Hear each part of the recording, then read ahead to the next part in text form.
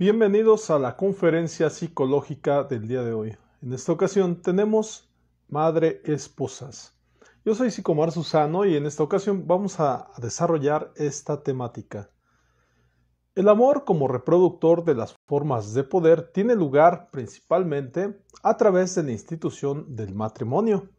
la figura de las madres esposas y también sobre el reparto del poder que recoge Simón a través de binomios como reyes y súbditas, magos contra discípulas, guerreros contra vencidas y amantes contra amadas.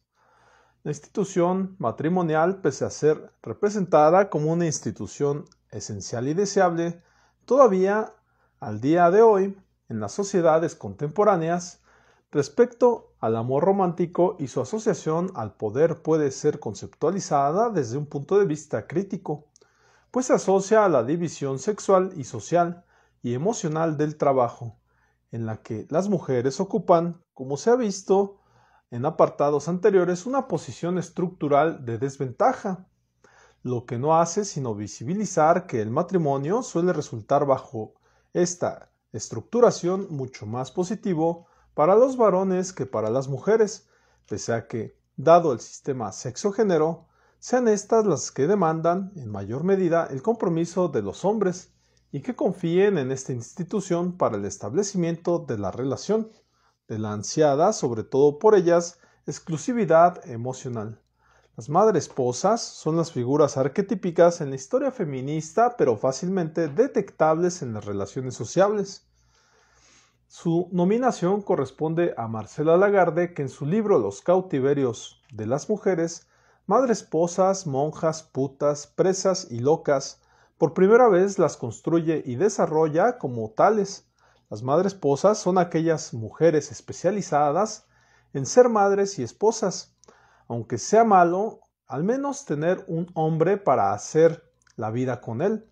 para tener hijos con él y para hacer una familia con él. Es decir, supone la unificación de dos figuras claves en la identificación femenina como son las referidas a la maternidad entendidas, estas no sólo como elemento clave en la conformación de ser mujer, sino también como entrega amorosa, incondicional y la esposa,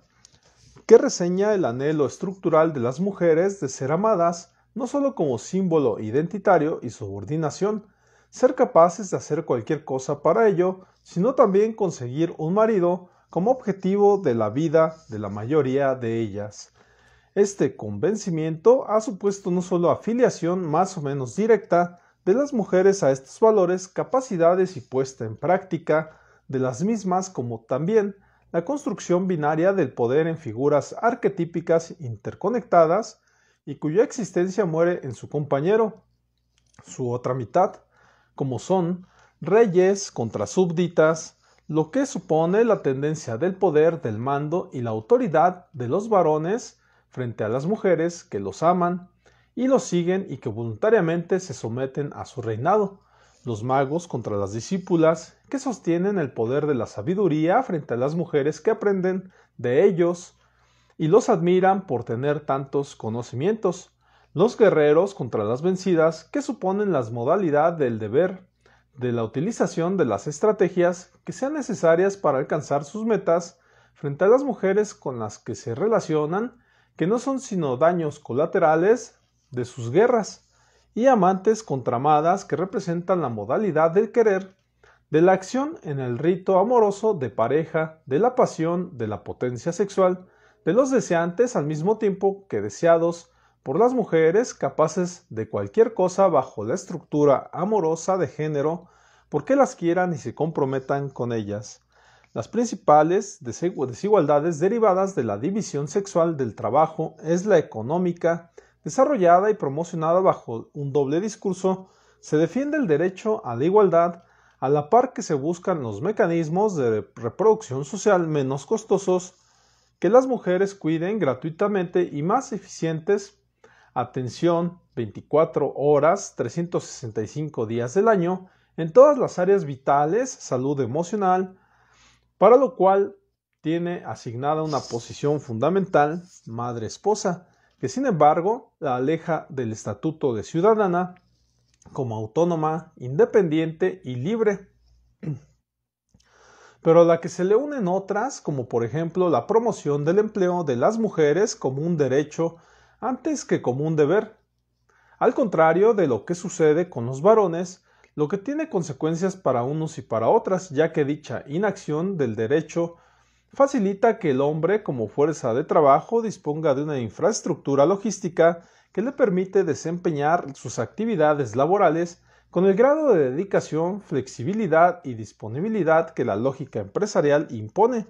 El análisis de género de la acción de los personajes de las series televisivas desde su narrativa necesariamente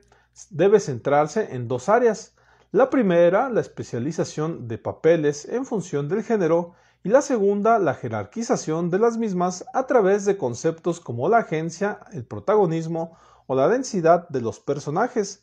La especialización de género en la acción hace referencia a que las historias diversas que nos cuentan las series televisivas promotoras de elementos referenciales y de identificación para los espectadores captan en sus tramas situaciones relevantes desagregadas por sexo, en el caso de las mujeres se recogen dos tipos de temas, aquellos ya clásicos como la búsqueda del amor, la maternidad o las relaciones familiares, y aquellos otros como la conciliación y el divorcio, más relacionados con las transformaciones sociales aquecidas en los últimos tiempos y que hacen referencia a la incorporación al ámbito laboral o la búsqueda del éxito, y a la complejidad de dar respuesta a los retos modernos de conciliar las tareas tradicionalmente femeninas de madre esposa y otras que van más allá de estas en el ámbito laboral. En el caso de los varones, las temáticas esenciales que recogen los mismos tienen que ver con el ámbito laboral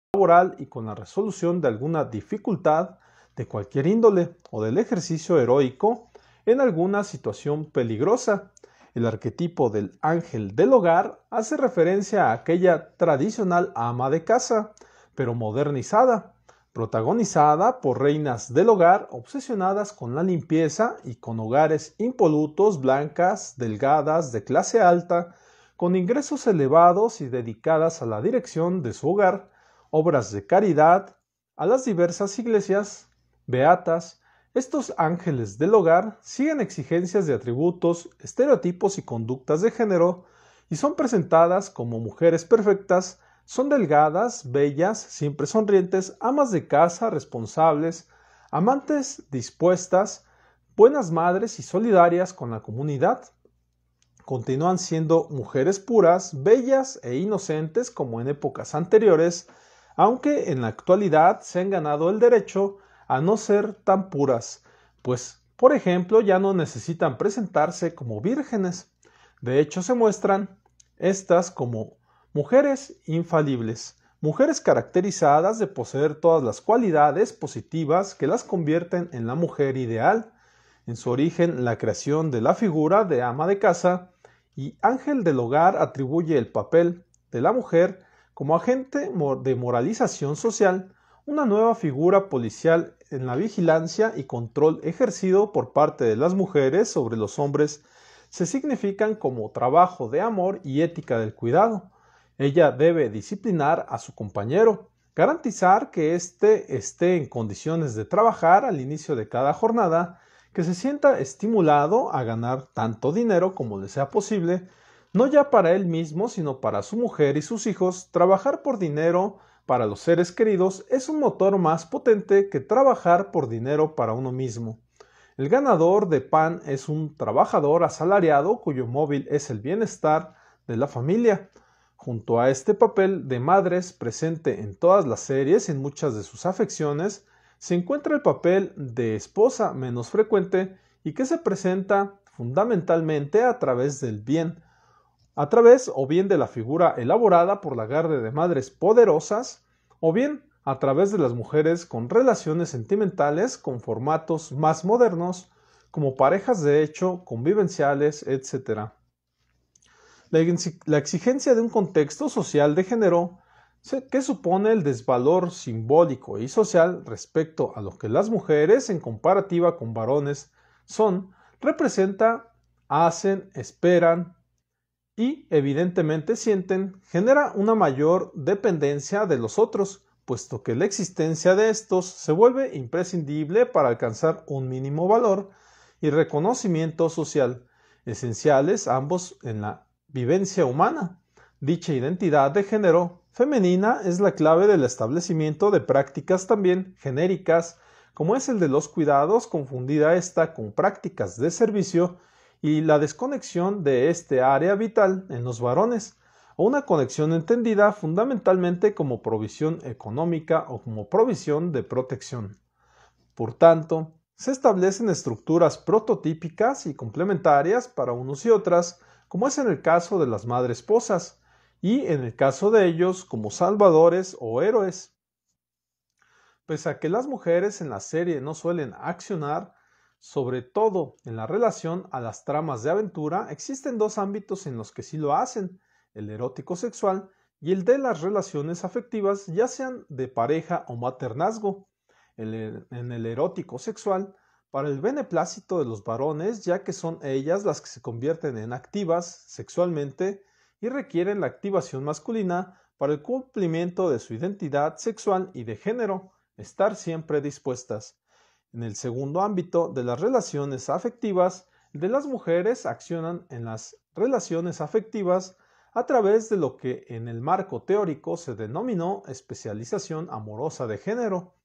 ya que son ellas las que están en mayor medida y de forma más intensa relacionadas con acontecimientos emocionales, sobre todo a la pareja, con respecto a la pareja y la maternidad, lo que se lleva, se les lleva al desarrollo de roles madrepoderosas, esposas, perdón, cuidadoras y novias románticas.